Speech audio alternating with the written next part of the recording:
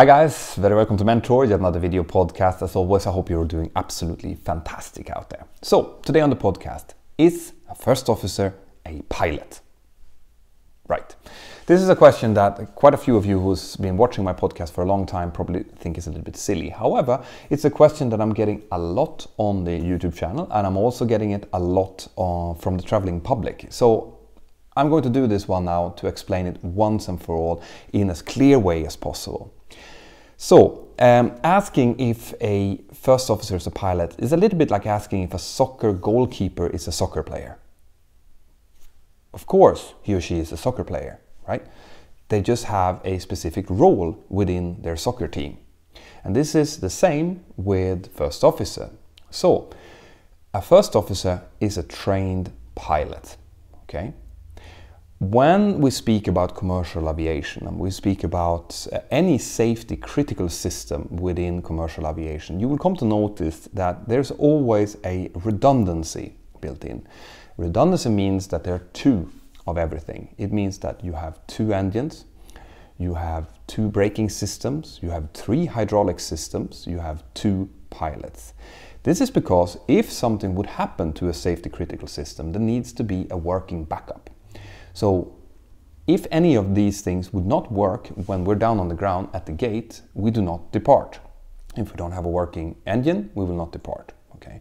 If we are lacking a trained pilot, we will not depart. But if anything will happen to these systems once we're airborne, the aircraft is completely safe to continue on just one of these systems. So a, if the captain becomes ill, the first officer can safely land the aircraft. If one of the engines uh, stop working, the aircraft can safely fly on the remaining engine. This is the way that a safety critical, well, to say all safety critical systems on board a commercial airline works. All right? When we talk about different roles within the airline industry, uh, you would have heard terms like captain, first officer, and pilot flying and pilot monitoring. So I will just try to explain that a little bit. When it comes to captain and first officer, these are names of rang. Okay, they come from the old maritime industry uh, where it was very important to assign different um, rang to different people working inside of a professional crew. We have something called a chain of command inside of a of an airline crew, okay, where the captain tends to be the one or is always the one who is pilot in command.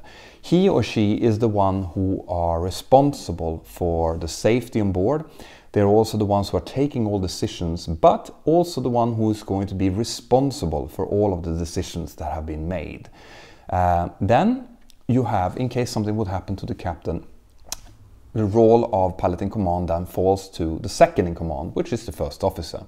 Now, if that would happen, for example, if you have pilot incapacitation, then the first officer becomes pilot in command and gives all the orders and are also responsible for all of the uh, orders that she or he has taken. If both pilots would be gone, God forbid, then the role of pilot in command falls on the purser, the number one, the most senior cabin crew member. And then it falls all the way down to the most junior cabin crew member. This is important because if you are working in a safety critical industry and something happens that needs um, quick you know, a quick response from the crew. Everyone needs to know what their roles are and who to listen to. Okay, so that there's no discussion coming up like I think we should do it this way, I think we should do it this way. Well, how should we do it? That cannot happen if you have something happening quickly. Okay, something that needs to be dealt with immediately. You need to know exactly who is the one who's taking the taking the decisions and who is the one following. This is why you have these kind of words like captain, first officer, pilot in command, and so on. So that has to do with the chain of command, right? Now, then there are the roles of pilot flying and pilot monitoring, and these are the roles who are actually dividing what we're doing in the flight deck. So both of the captain and the first officer are trained and type rated on the aircraft. They can do exactly the same things, okay? And they should do exactly the same things because they need to keep themselves current and good at all the different roles. So on a given day, when we fly, let's say we're flying two sectors. We're flying from A to B and then from B back to A again. In the beginning of the day, uh, the flight crew will decide who is going to be pilot flying and who is going to be pilot monitoring on the first leg. So let's say in this example, the, they decide that the first officer should be pilot flying for the first leg. Then the first officer is going to be the one who is setting up the aircraft for departure, who is doing the briefings, who is also doing the actual takeoff and landing of the aircraft, inputting of controls. The captain, in this case, is going to be pilot monitoring, and the captain is going to be supervising, is going to be monitoring what the pilot flying is doing to make sure everything is done correctly. And the captain is also going to be doing the uh, communication with air traffic control, doing paperwork, inputting data into the um, flight management computer at the direction of the pilot flying. So the pilot flying is leading all of this work, okay? And the pilot monitoring is making sure that everything is done safely because it tends to be less workload on the pilot monitoring, it means that one of the pilots can actually have an overview and see that okay, this is not this is not going very well. We should break off this approach, for example. That becomes the role of the pilot monitoring, hence the word monitoring. Now, on the subsequent flight, going from B back to A again, the roles will reverse. So now the captain becomes pilot flying, doing all of these things that we've already discussed. And the first officer becomes pilot monitoring. So on a two sector day, they do one flying leg each and one monitoring leg each. On four sector day, they tend to do two legs of flying and two legs of monitoring, just to keep the balance going, okay? There are specific situations where the um, company might stipulate that a certain approach needs to be flown by the captain only, or a certain takeoff needs to be done by the captain only. Or if the first officer is very inexperienced, a certain type of weather, like very high, very strong crosswinds, might be preferable for the captain to do. Okay? Because the captain is the one who is responsible, once again, for all of the safety on board. But on a normal general day, then they will do exactly the same job, both of them. It's just a matter of who is responsible for the safety and for all of the decisions made, and that's always going to be the captain.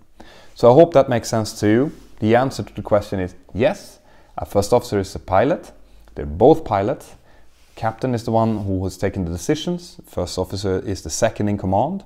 And then you have pilot flying and pilot monitoring, which are the roles who's actually governing who is doing what on any given flight.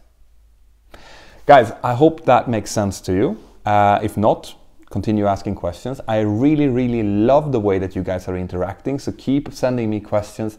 Keep um, sharing these videos if you like them share them on twitter or on facebook or on instagram or whatever you can think of because it really helps the channel okay and if you haven't already feel free to subscribe just press the subscribe button and uh, i will have an end slate coming up very soon where you can also click the annotation to subscribe to the channel I hope you're all doing fantastic, guys. I have a, a, lot of really exciting things in the pipeline that I think that you guys are going to love.